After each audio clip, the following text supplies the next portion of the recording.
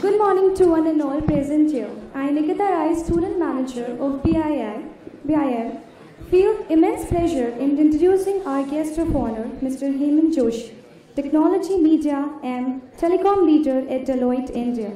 Sir has completed CFE from Association of Certified Fraud Examiners USA, CISA from ISACA. He has an FCA Chartered Accountancy from Institute of Chartered Accountants of India, CIA from Institute of Internal Auditor, Florida, USA. Sir is the president of ISACA Pune chapter, was a member of Board of Governor of the IIA Bombay chapter, and ex-chairman of the Banking, Finance and Insurance sector of Maharashtra Chamber of Commerce Industry and Agriculture. He has initiated the SkillCon India 2013 report. He shares his interest in writing a number of articles featured in leading print media, including Professionals Body magazine, particularly on telecom and risk.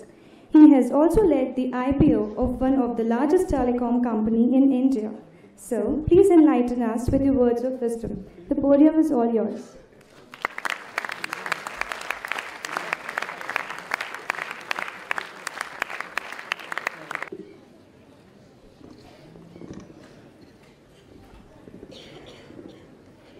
A very good morning.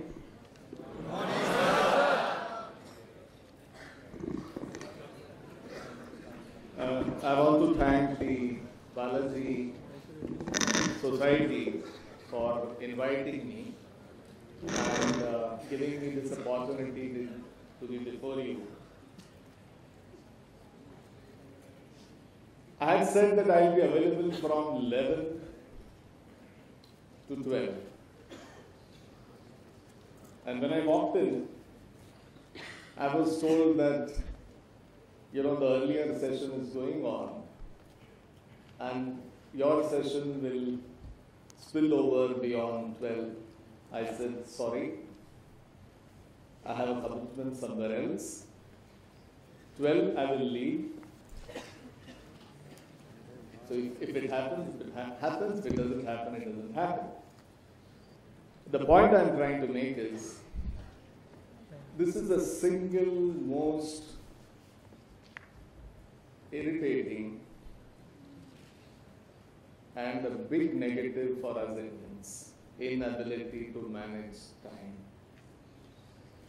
And I think unless we get a handle on this, we will not get a handle on anything else.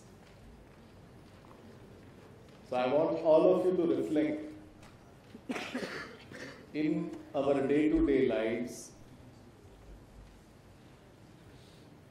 need to be very conscious of time.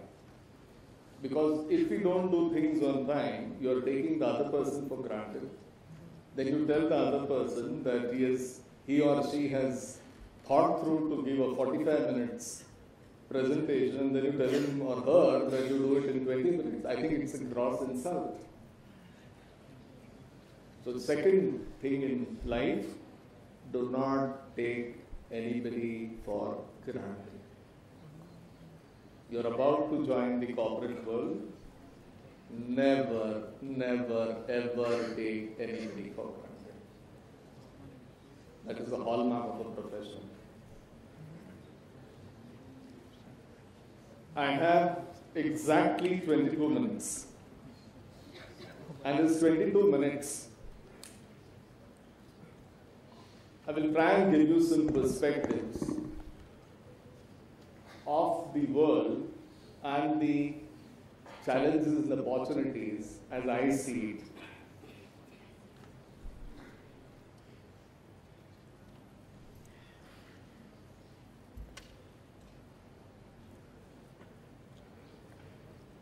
Let me ask,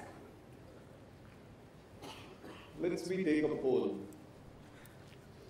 Let's see how many of you get it right. How many mobile connections does India have?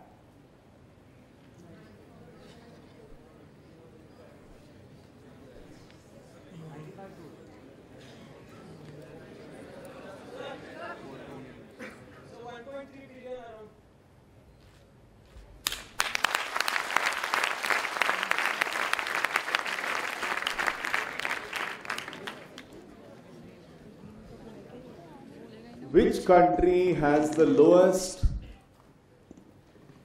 calling and data rates in the world?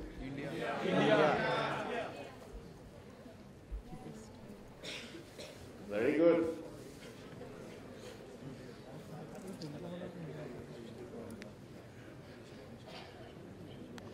In the last 12 to 18 months, some very significant events have happened. And I think we need to sit back, pause, and reflect on these events to see what it means.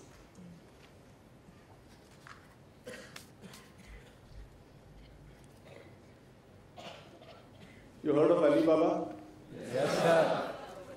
What's so great about Alibaba?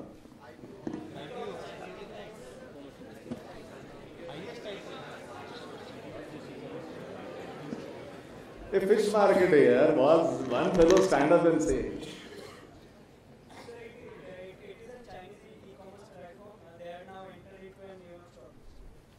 वो तो सबको मालूम है यार। What is so great about Alibaba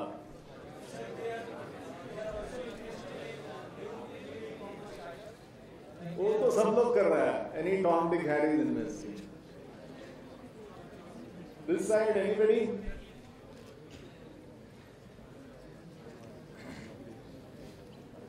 Who's your uh, program manager for this course? Fail. The unique thing about Alibaba is it was listed on the New York Stock Exchange with the highest valuation in the history of New York Stock Exchange.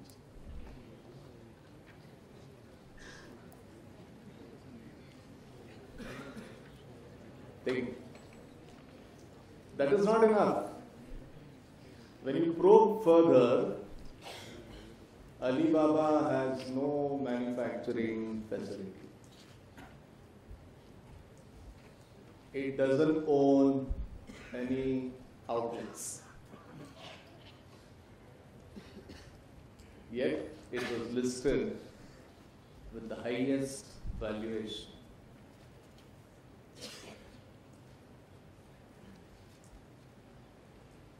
You heard of Uber? How many of you have used Uber? What's so great about Uber?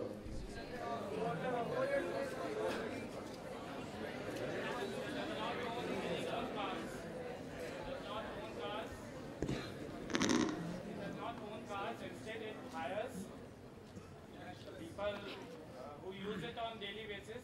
They are paid by the company. वो तो अपना can call a cab, you know, it does the same thing. What's so great about Uber?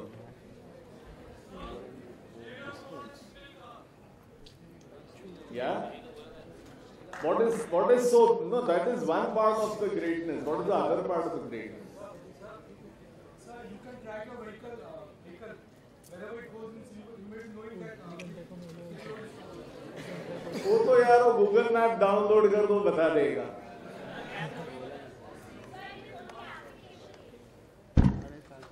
Again, you are missing the big picture. Uber is valued at over 42 billion dollars. क्या है एक software है a software which connects those who want to drive a car with those who want the services of this car on real time with geographical locations, payment gateways, online trade, etc. etc. 42 billion.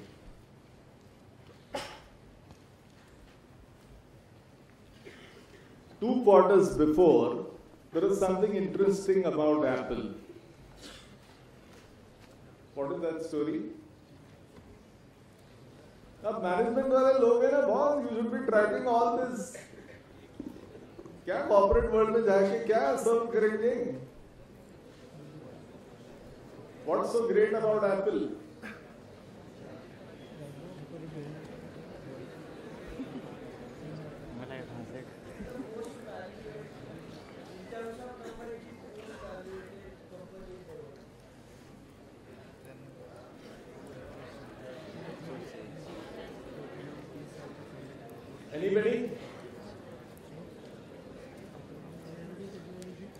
Two quarters before, Apple reported the highest profit in the history of corporate world all over the world.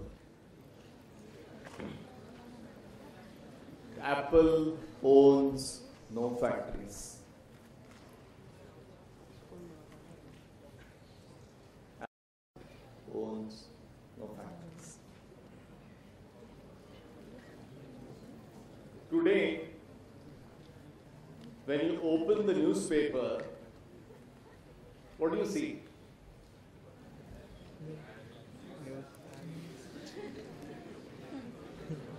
Very good news.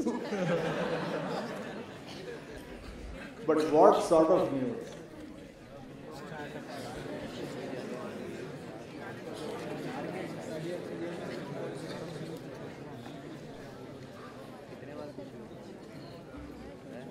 Which are the advertisements which come on the first page?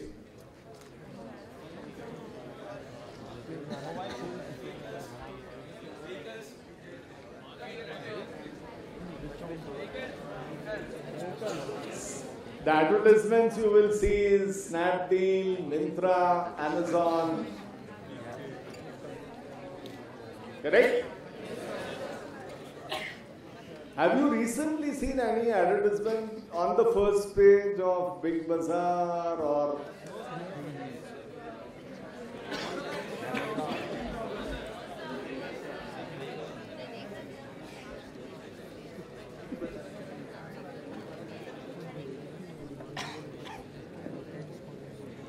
What is the valuation of Snapdeal?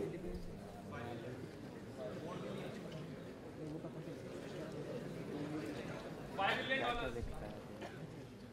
वो नहीं है तो हो जाएगा The point I'm making is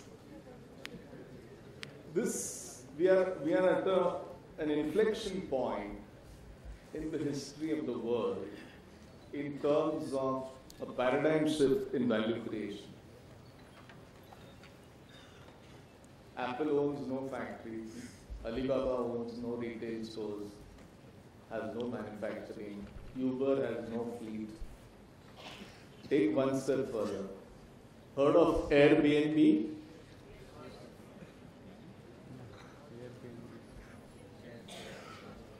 Those who said yes, क्या है बताओ जरा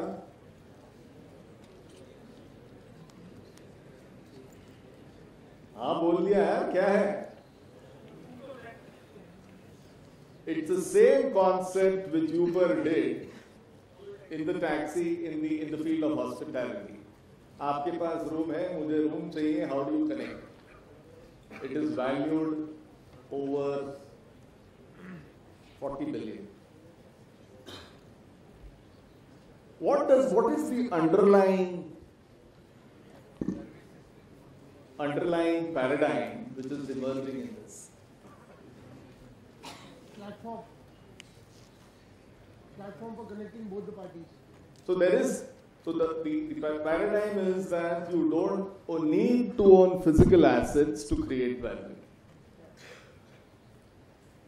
You can create value through an idea. Ultimately, Uber or Airbnb or Apple, it's an idea. It's a concept. There is a design concept, there is an engineering concept, there is a software. And this software, the idea, is creating this value.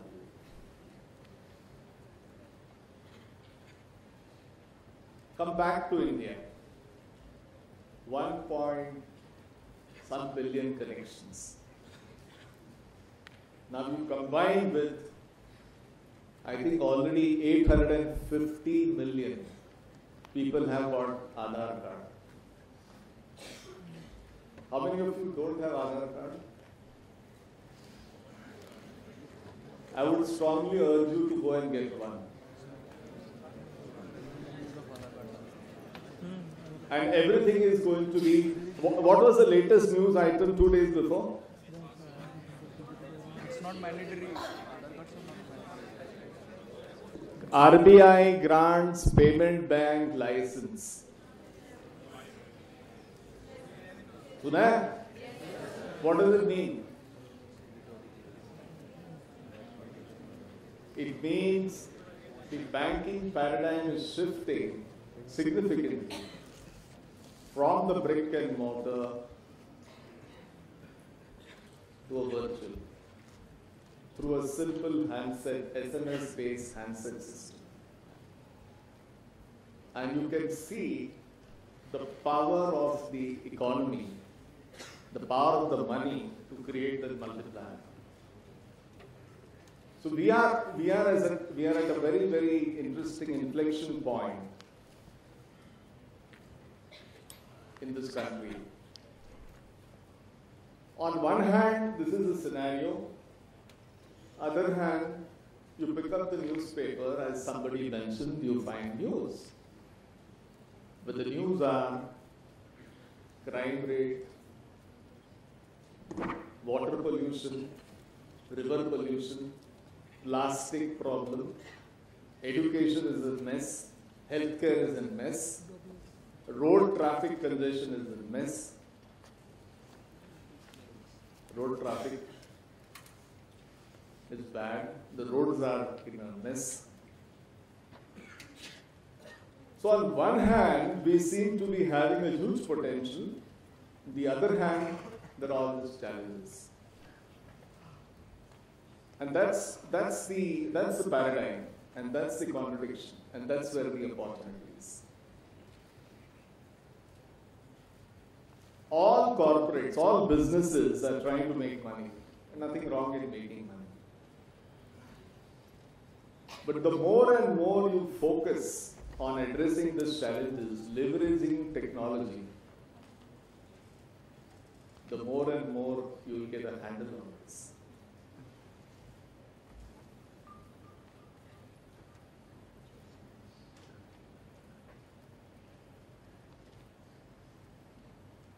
What should you? Okay, let me rephrase. I don't want to give advice. What would I do if I was stepping into the corporate world?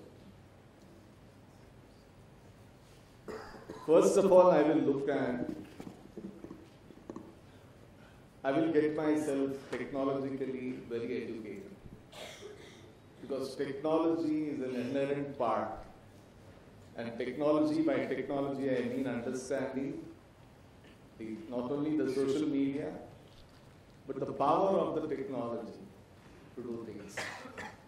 Whether it is uh, internet, whether it is the power to connect, the potential of Aadhaar,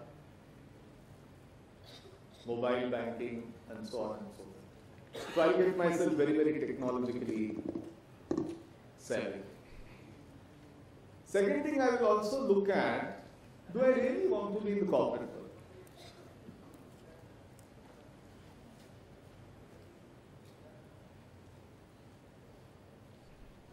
Are there enough jobs in the corporate world for thousands and thousands of students who pass out?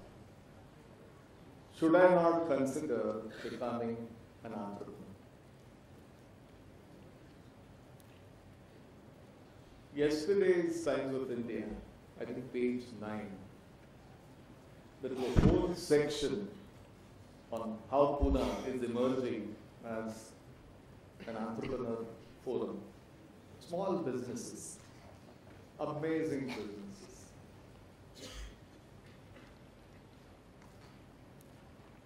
There was a gentleman in Bangalore, Ganesh. He, he found that there is, there is a shortage of teachers. And there are teachers available in the houses. Housewife and others, they want to teach, they are competent to teach, but they have other commitment, they cannot leave home.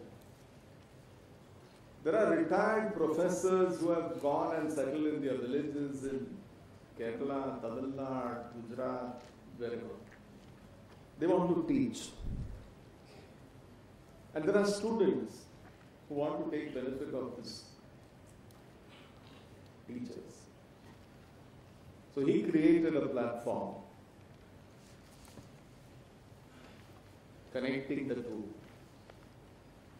So, for example, there is a great Carnatic musician teacher in Trichy, and there is a fellow sitting in US who wants to learn Carnatic music on his time at his convenience. Connect. Modern technology, Skype, and other things, you are in business. And he grew this business. The name of that entity was is or was TutorVista. And he sold it, Pearson came and he sold it to Pearson for $130 million.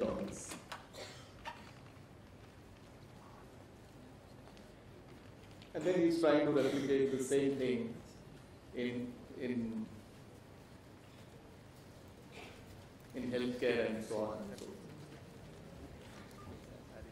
So I think you might want to just give a thought to this. The third thing I think you need to understand, there is a total interplay of industries. It will be very difficult to say, here is one industry ending and here is another industry beginning. For example, the most glaring example of this is Google. Is it a bank? Is it automobile? Is it telephone? Is it telecom? Is it solar? What is it? Very difficult. So all industries, irrespective, will have to have a very strong connect and interplay with industry, uh, with technology. And I think you need to keep this in mind. Where do you fit into the equation? And we don't have time, but yeah, this leads me to another point that in the world of technology, you think you are dealing with something, but you may find that you are dealing with something else. And there is a whole emerging space of cybersecurity and the frauds and other industries related. So that's another big, huge opportunity for you. So as I said, technology, which is internet, IP, and these are driven by four big trends of social, mobility, analytics, cloud. And when this technologies start interplaying, you have the challenges of cybersecurity, which is going to be a trillions of dollars opportunity. This is what the world needs. But if you and I are going to say that I want a 9 to 5 job, I will push papers, I will manage people, I will supervise, I think those jobs will disappear. So you need to you need to reposition yourselves as you as you step on or step in into the working life. I, I think uh, finally technology is not working. Oh, that's okay. So I think there are a lot of uh, lessons. One must always manage one's risk. So if I depended solely on the use of technology to talk to you, you know, I would be a nervous wreck here. So always have a plan B. I I think I, we're going to stop here. Uh, if there are any questions, I'll be happy. And uh, let me take this opportunity uh, to invite you to visit our uh, website www.deloitte.com. And uh, there are industry sections, uh, there are thought leadership papers, and a host of other things.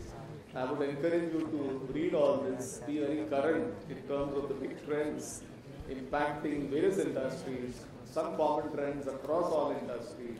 What does it mean for you as a as a young uh, job seeker? What does it mean for you as an entrepreneur if you want to get into that space? Uh, and uh, and I wish you all the best and uh, good luck to you in your career. Thank you.